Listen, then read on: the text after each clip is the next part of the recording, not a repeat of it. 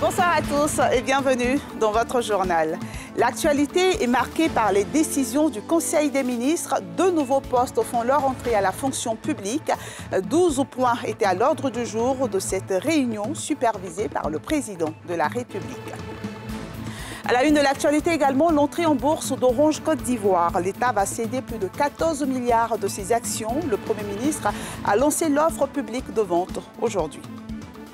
Et puis l'ouverture du procès des attentats de Grand Bassam survenus en mars 2016. Quatre des 18 accusés ont comparu ce matin devant le tribunal criminel. De nouveaux postes font leur entrée à la fonction publique. Il s'agit des postes d'attachés sanitaires et assistants sanitaires. C'est une décision du Conseil des ministres de ce jour, un conseil qui a abordé 12 points. Le dernier Conseil des ministres de l'année 2022 est prévu le 21 décembre. Les explications de Nadia Edia. Deux nouveaux postes font leur entrée à la fonction publique. Il s'agit des emplois d'attachés sanitaires et assistants sanitaires. L'information a été livrée au cours du Conseil des ministres de ce mercredi 30 novembre. Ainsi, il est créé dans la famille des emplois de gestion économique et financière les emplois de gestionnaire administratif et financier des établissements hospitaliers, à savoir l'emploi d'attaché sanitaire catégorie A, grade A3, et l'emploi d'assistant sanitaire catégorie B, grade B3, au fin d'assurer une meilleure gestion administrative et financière des hôpitaux publics. Le recrutement et la formation dans les 10 emplois se feront à l'ENA. Autre point abordé lors de ce conseil, la promotion de la jeunesse, l'éducation, l'industrialisation et le renforcement énergétique. Deux décrets de ratification d'accords de près d'un montant de 115 millions d'euros, soit plus de 74 millions de francs CFA, devront permettre d'accroître l'efficacité énergétique du pays et plus précisément des localités d'Adzopé, de Daoukro, d'Atakro et de Serébou. En effet, dans le cadre de la transformation structurelle de notre économie, voulue donc par le chef de l'État, son industrialisation a été envisagée. Donc c'est une transformation de notre économie par son industrialisation et une politique hardie d'industrialisation est actuellement euh, mise en œuvre donc, dans notre pays. Et le développement de ces zones, euh, je dirais, industrielles, euh, nécessite euh, une certaine puissance énergétique que certaines régions de notre pays n'ont pas. Donc cet accord de prêt vient corriger cela en permettant à ces régions d'avoir donc les puissances énergétiques nécessaires afin de favoriser donc l'installation d'industries dans ces différentes localités. Le dernier Conseil des ministres de l'année est prévu pour le 21 décembre. C'est une décision du Conseil des ministres du 3 août 2022. Depuis cet après-midi, Orange Côte d'Ivoire est entré en bourse. L'État va céder près de 10% de ses actions, euh, soit plus de 14 milliards d'actions. L'opération euh, se tiendra du 5 au 19 décembre et vise à faciliter l'accès des investisseurs nationaux à l'épargne par les placements à la bourse régionale des valeurs mobilières. Le chef du gouvernement a lancé l'offre publique de vente d'actions cet après-midi. Le reportage de Sally L'État ivoirien, qui détient 14,95% de participation dans le capital du groupe de téléphonie Orange Côte d'Ivoire, c'est d'une partie qui équivaut à 9,95% à travers la BRVM, Bourse régionale des valeurs mobilières.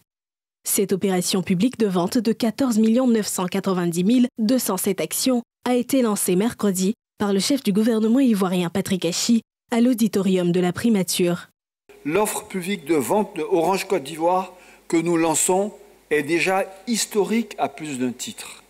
Parce que la participation de l'État au capital d'Orange Côte d'Ivoire en fait l'un des actifs publics actuels les plus importants. Parce qu'il s'agit de la plus importante opération de privatisation menée dans notre pays au regard du volume financier attendu d'environ 141 milliards de francs CFA quand la première privatisation du secteur des télécommunications en 1996 portait sur un montant de 105 milliards de francs CFA. Elle devrait en effet permettent d'accroître à elles seules la capitalisation boursière de la BRVM de 25%.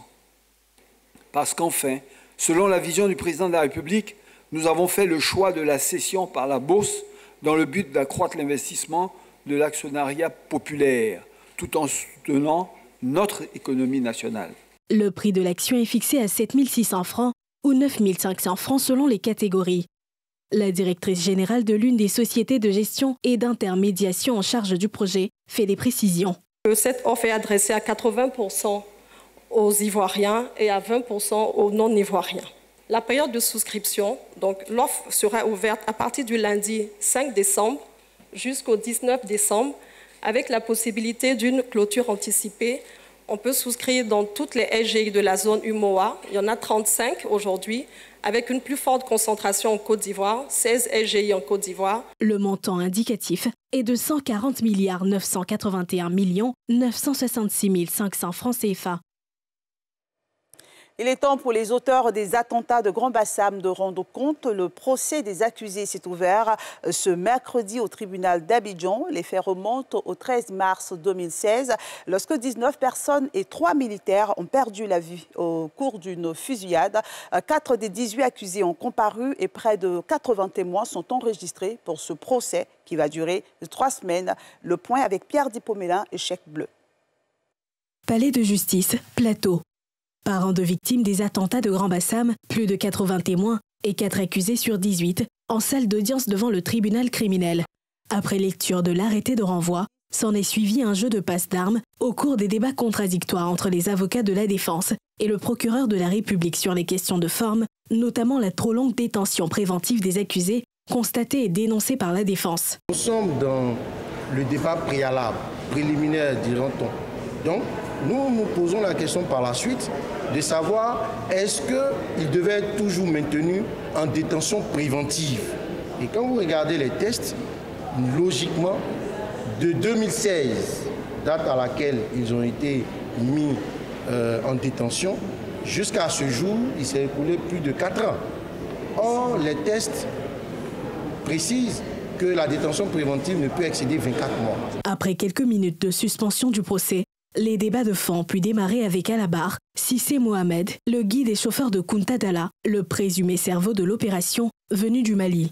Sous les feux des questions du président du tribunal et du procureur, Sissé Mohamed a nié toute implication dans les attentats et se présente lui-même comme une victime manipulée par les terroristes du 13 mars 2016. Après ce premier accusé, le procès a été levé et renvoyé à demain. L'instruction de cette affaire ne pourra ou ne pourrait se faire en un jour vous avez bien compris. Le dossier est quand même assez volumineux.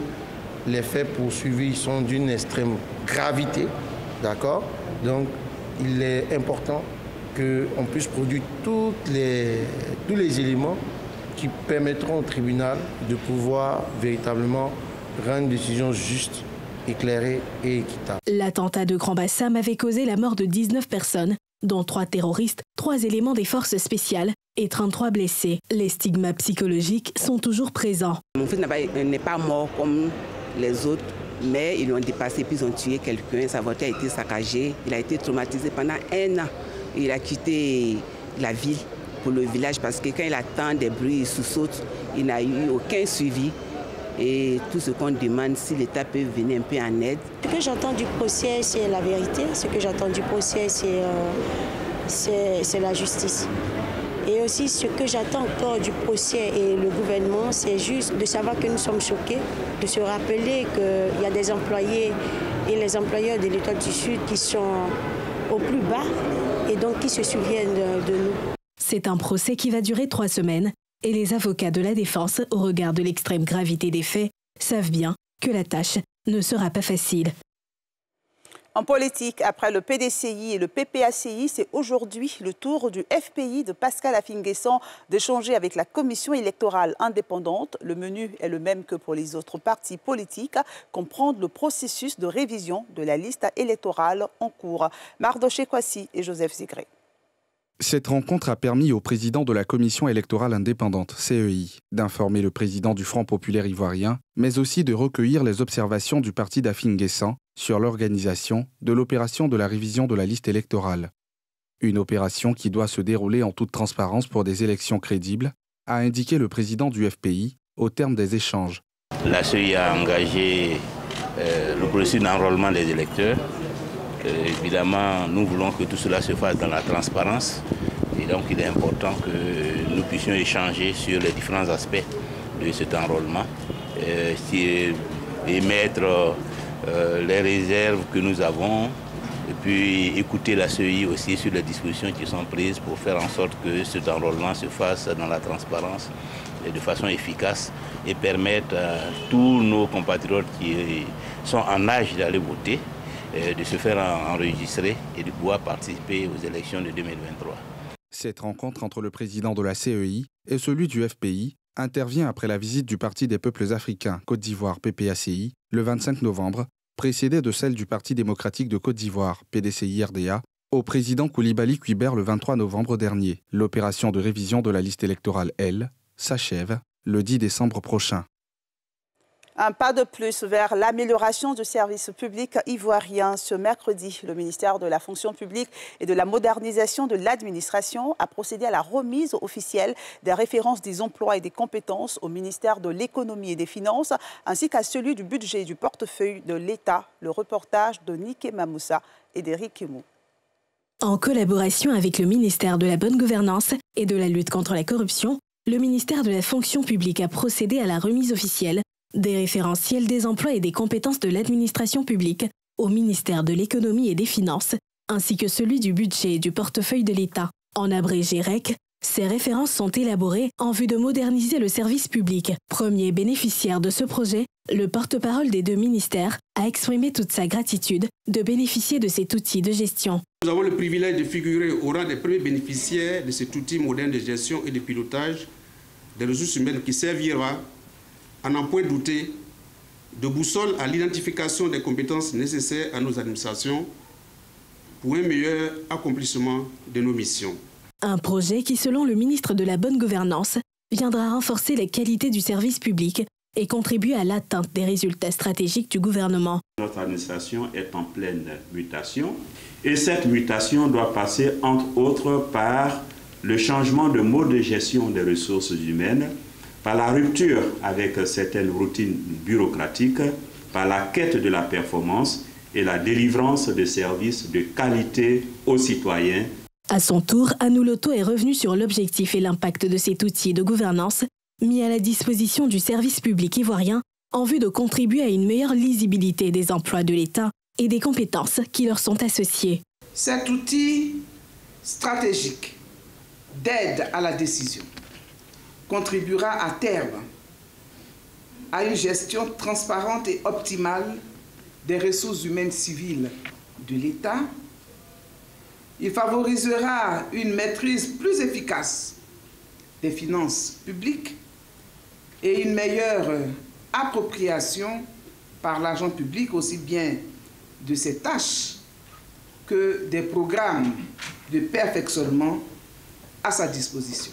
Les référentiels des emplois et des compétences visent entre autres à répertorier les emplois, ajuster les compétences, faciliter l'identification des compétences nécessaires et améliorer la productivité des personnels administratifs par la valorisation des potentiels. Et on poursuit avec cette bouffée d'oxygène pour les médias ivoiriens. Le gouvernement vient d'allouer au secteur une subvention de 152 millions de nos francs. Euh, ce fonds alloué à travers l'Agence de soutien et de développement des médias a été remis aux représentants des 19 organisations professionnelles. Le reportage de Thiemé Dangé et d'Éric Kimon. Abidjan de Plateau, siège de l'ASDM, Agence de soutien et de développement des médias. Y sont réunis acteurs de l'écosystème des médias ivoiriens Parmi eux, des bénéficiaires de la subvention d'un montant de 152 millions de nos francs, alloués à neuf organisations professionnelles du secteur. Il s'agit là, dira le directeur de l'ASDM, d'une réponse du chef de l'exécutif du pays aux problématiques complexes de la presse nationale. Il n'y a que le quatrième pouvoir, la presse, les médias, tout l'écosystème des médias, qui malheureusement est encore en déshérence. Et c'est à cette situation que Son Excellence, Monsieur le Président de la République, apporte une réponse, une réponse forte qui donc dénote de sa volonté politique affichée de reconstruire toute l'architecture institutionnelle de la Côte d'Ivoire. Il ne s'agit pas de soutenir pour euh, soutenir, il ne s'agit pas de donner des subventions pour, euh, comme on dit, pour assister. L'objectif, c'est de construire euh, un écosystème qui sera un écosystème responsable, qui sera composé d'entreprises viables pour cotiser, contribuer à la formation de la richesse nationale. Les bénéficiaires, issus de différentes entités des médias du pays, saluent pour leur part l'action du jour, laquelle vient enlever une grosse épine du pied des acteurs du milieu. Il y a une lueur euh, d'espoir puisque aujourd'hui, euh, nous nous rendons compte que nous pouvons bénéficier de subventions, de fonds de garantie, d'accompagnement pour tous les projets qui s'inscrivent euh, dans le cadre de la production du cinéma et de l'audiovisuel. Dans un métier qui fonctionne de plus en plus difficilement, il est important pour nous vraiment d'avoir le soutien de l'État à travers l'Agence de soutien et développement des médias. Et nous, je pense que nous sommes heureux et nous allons faire bon usage de cet argent, bien sûr. C'est pourquoi l'argent a été octroyé. Naturellement, nous allons apporter les affectations normales. Notons que le programme du jour va être suivi le 2 décembre prochain du don, cette fois, d'équipements informatiques et multimédia à une trentaine d'entreprises de production d'informations numériques d'une valeur de 90 millions de francs CFA, ce qui va porter à près de 250 millions de francs CFA d'appui au secteur depuis quelques semaines que l'ASDM est opérationnel. Nous sommes à la veille du mois de décembre et les fêtes de fin d'année se rapprochent à grande vitesse, un moment festif au cours duquel la consommation de la volaille s'accroît considérablement. C'est aussi la période où les éleveurs se frottent les mains. Les dispositions sont déjà prises pour vous satisfaire. Comment se préparent les éleveurs de poulets, pintades, dindes et autres denrées avicoles pour les fêtes de fin d'année? C'est un reportage de Nadia Edia et de Mathieu Imbadé. Soumaïla Doumbia est éleveur de poulets de chair et se prépare activement pour les fêtes. Sous ses abris, il élève 3100 poulets de chair en prévision aux fêtes de fin d'année. Pour cette période, ici, nous avons demandé 3100. Ailleurs, nous avons là-bas 4200. Généralement, ça, c'est pour autour de, du 24. Et puis les 4100, ça, ça tourne autour du, 31. Pour avoir les poussins, euh, c'est pas du tout évident batailler. S'il se donne tant de mal, c'est pour satisfaire la clientèle mais aussi tirer le meilleur profit de cette période où il voit son chiffre d'affaires grimper. Nous avons déjà un portefeuille euh, client, les maquis, les restaurants. Régulièrement, nous les fournissons. Mais comme nous savons qu'à la fin des fêtes, les commandes explosent, en fonction de ça, nous avons augmenté aussi la production. Le chiffre d'affaires peut monter autour de 30, 35%, 40%. De plus, en fait un regain d'activité que connaît également Omar Mazalé, chef d'une entreprise avicole. Nous sommes vraiment débordés. On a prévu déjà pour le, pour le marché parce que l'année dernière, on a fait 7000 pondeuses. Donc cette année, nous avons prévu 3000 de plus. Donc déjà 10 000 pondeuses que nous, avons, que nous allons faire. Mais là, nous sommes déjà saturés parce qu'on euh, on a des supermarchés, que ce soit avec des ménages. Là, on a une entreprise où on doit livrer 1000 pondeuses, mais ils nous ont envoyé le bon de commande déjà depuis le 15 de ce mois. Pour mieux rentabiliser, il diversifie ses produits. Sur sa ferme de plusieurs bâtiments, il propose en plus des poulets, des pintades et des dindes. Depuis le mois de juin, soit six mois avant les fêtes de fin d'année, il a mis en production cette race de volailles, des poulets de chair roux. Là, on, on espère avoir un poids moyen de 6 kilos. Donc il y a eu une, préparation, il y a eu des prévisions qui ont été faites en fonction aussi des besoins des consommateurs. Voilà, parce qu'en période de fête, les, clients veulent changer. On essaie de proposer des produits qui sortent un peu du commun, voilà, pour le bonheur vraiment des consommateurs. Si cette période est charnière pour les producteurs, ils craignent tout de même le manque de volailles à l'approche des fêtes. Le coût de l'aliment a grimpé. Euh, le coût d'investissement, déjà pour 1000 poulets de chair, tourne autour de 1 600 000. Là, actuellement, on est autour de 1 million. Donc vous voyez qu'il y a une marge déjà de 200 000. Le coût de l'aliment, euh, dû aussi en grande partie avec la crise de l'Ukraine, parce que les, matières premières, que ce soit le soja ou le, blé, viennent essentiellement des pays euh, euh, occidentaux. Et les prix vont, vont, grimper. Là, actuellement, le poulet de chair qu'on avait pour habitude de faire autour de 2000, là, il est passé en 2500 et 3000. Une pénurie de volailles qui pourrait être comblée par l'importation. Alors que les fêtes de fin d'année sont des périodes de grande consommation en volailles, le ministère de tutelle appelle les éleveurs, transformateurs et distributeurs à respecter les normes d'hygiène. Et pour terminer, sachez que la CEGCI a un nouveau patron. Il s'agit d'Ahmed Sissé, élu pour un mandat de trois ans, renouvelable une fois. Il devient ainsi le sixième président du patronat ivoirien. Ahmed Sissé est le président directeur général de Braddon McCain, administrateur de plusieurs entreprises. Il succède à Jean-Marie Aka. La passation des charges aura lieu à la fin de l'année. Et c'est la fin de ce journal de la rédaction d'NCI. Merci de votre fidélité. À 22h, vous aurez le journal de la Coupe du Monde avec Joël Amos Badi. Bonne suite de programme sur la nouvelle chaîne ivoirienne, diffuseur officiel et exclusif de la Coupe du Monde. Prenez soin de vous.